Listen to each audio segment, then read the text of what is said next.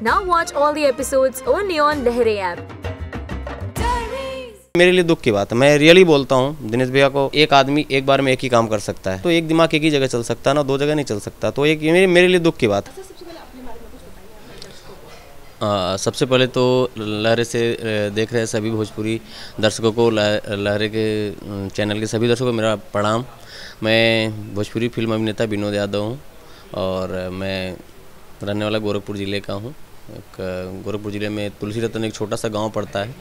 उस गाँव से मेरे किसान के घर में मेरा जन्म हुआ और वहाँ का रहने वाला हूँ और अपने एक लाइफ को ज़िंदगी में स्ट्रगल करते हुए आज मुंबई तक पहुँचा हूँ।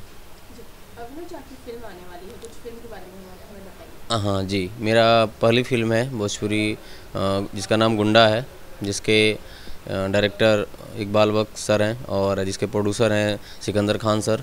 और सिकंदर खान प्रोडक्शन के बैनर तले बन रही है और जो मेरे अपोजिट साथ काम कर रही हैं काम किया उन्होंने और अंजना जी, जिन्होंने बहुत अच्छा मेरे साथ काम किया कॉपरेट किया, मुझे सपोर्ट किया और बहुत अच्छे से काम किया।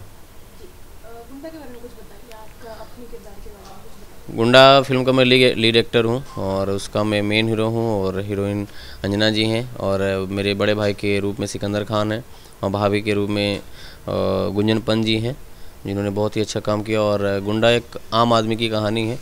आम आदमी कैसे गुंडा बन जाता है जो इसमें बहुत एक्शन और रोमांस और अच्छे गाने सभी चीज़ बहुत भरपूर बहुत मस्ती कॉमेडी सभी कुछ उसमें मिलेगी अब इस मूवी में।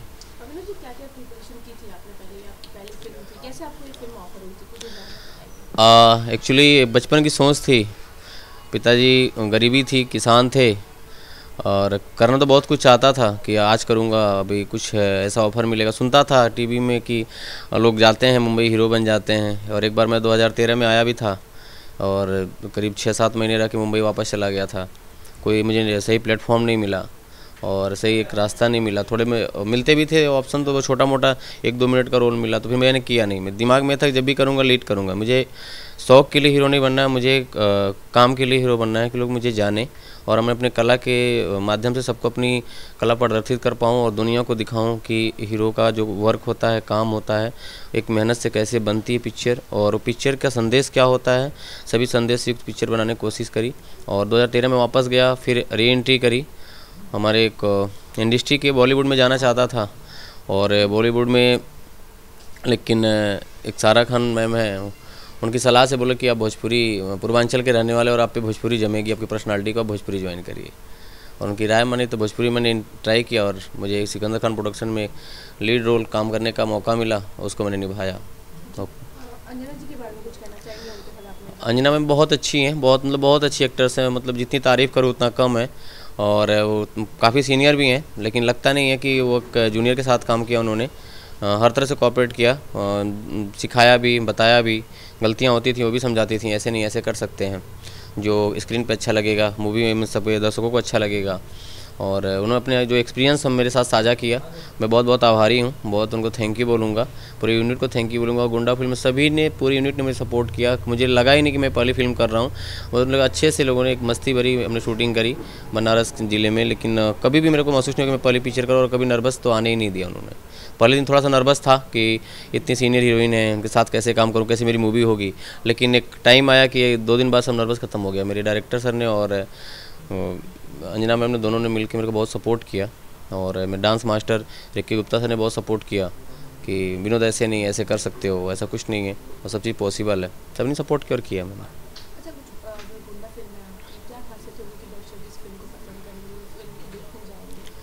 उसमें एक तो भरपूर एक्शन है। आज के जो जनरेशन है यंग जनरेशन एक्शन देखना चाहती है। और रोमांटिक है और उसमें रोमांस भी है और कॉमेडी है।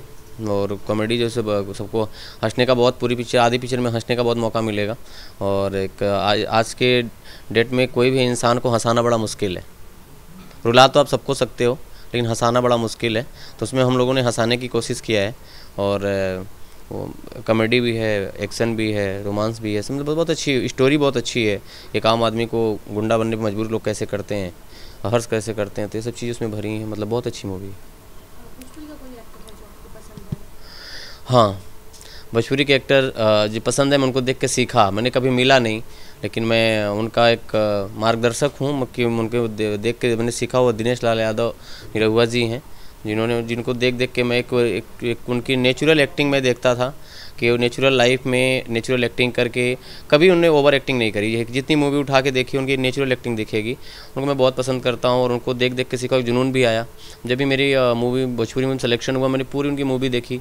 कि दिनेश भैया कैसे करते हैं, खेसारी भैया की मूवी देखी। सभी मतलब जितने थे, पवन भैया भी थे रवि किशन भैया, सभी मनोज तिवारी भैया, सभी को देखता था। लेकिन एक सबसे अच्छा लगा कि जो नेचुरल एक्टिंग करते हैं भैया, उनसे बहुत कुछ सीखने को मिलता है।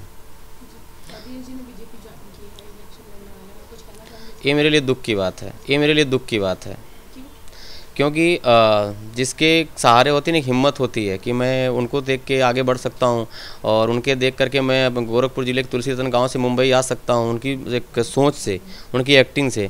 और जब मैं मुंबई आया तो मुंबई छोड़ के चले गए। यानी मुंबई इंडस्ट्री से रास्ता चेंज किया। एक हमारे लिए हिम्मत टूटा। मैं एक नया बंदा हूँ, लेकिन एक हिम्मत था कि जिस मैं दिनेश भैया के पास जाऊँगा और उनका तो उन्हें अच्छा लगेगा कि मेरी एक्टिंग को सीख के कोई हीरो बन के मेरे पास आया। लेकिन वो सपना लग रहा है मेरा अधूरा रह जाएगा, क्योंकि एक बार जब इंडस्ट्री से आदमी हट जाता है तो दूसरे जिस, किसी प्रोफेशन में जाता है तो उसमें जमने में टाइम लगता है और जब तक कोई जम नहीं जाता, तब तक उस रास्ते को छोड़ता नहीं है। और एक आदमी एक बार में एक ही काम कर सकता है, एक आदमी एक बार में एक ही काम कर सकता है, हर काम पॉसिबल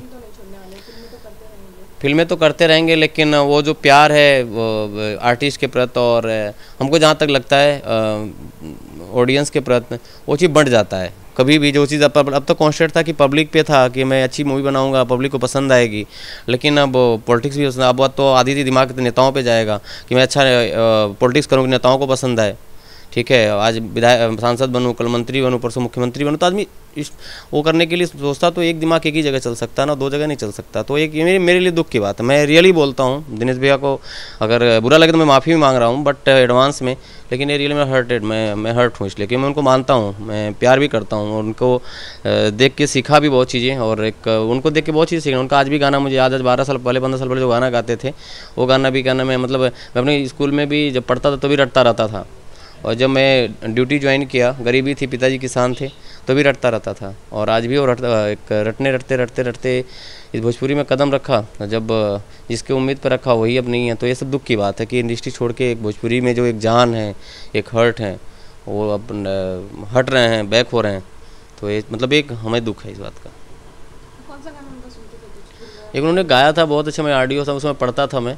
और दिल्ली में था तैयारी कर रहा था तो कई की पीएचडी चलाई ऑटो रिक्शा छोटका स्टेशन वहाँ पे ढोएला बक्सा। तो मैं एक इस गानों के ऐसे गाता था कि एक वहाँ पे चपरासी थे। तो वो पीएचडी करने के बाद भी करने में वो चपरासी की जॉब करते थे मुझे जॉब नहीं मिली थी जॉबलेस थे।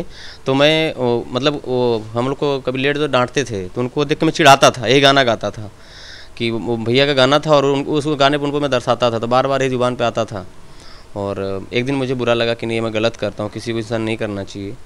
और फिर धीरे धीरे वो दिमाग पे आकर, और आज भी वो गाना याद है और चलता रहता है क्योंकि गुनगुनाता भी रहता हूँ। तो बहुत सी चीज़ें दिनेश भैया से बहुत चीज़ सीखने को मिली, बहुत हालाँकि मैं गोरखपुर का रहने वाला हूँ, मेरे घर से 200 किलोमीटर दूर भैया का घर है, और मेरे क्षेत्र में आते रहते भी हैं, और बहुत अच्छे इंसान भी हैं, दिल के भी अच्छे हैं। बट ये कि किसी चीज़ से, जुड़ाव से एक आदमी जब हटता है तो थोड़ा सा अभी फैमिली जब बिखरती है तो हर कोई को दुख होता है। तो भोजपुरी की जो फैमिली थे, उसके पार्ट थे और उसमें उन्होंने अलग हुए तो थोड़ा सा दुख है। अभी मेरी लाइनअप है। अभी मुझे ऑफ़र मिला है, एक पिक्चर हिंदी पिक्चर का ऑफ़र मिला है। तो अभी जस्ट उसका भी डिस्कस हो गया है फाइनल भी हो गया है, उसको शूट करेंगे। और अभी फिर एक जून में एक पिक्चर है। तीन चार पिक्चर लाइनअप है इस साल में जो करेंगे 2019 में। आ, मैं सभी से निवेदन करूँगा। मेरी पहली फ़िल्म आ रही है भोजपुरी फ़िल्म गुंडा। उसको आप लोग देखिए और अधिक से अधिक प्यार दीजिए। जितना आप लोग प्यार देंगे उतना ही मेरा हौसला बुलंद होगा। और आज जितना आप लोग प्यार देंगे दोबारा आने की कोशिश है विनोद यादव आपके बीच में फिर दोबारा करेगा। धन्यवाद।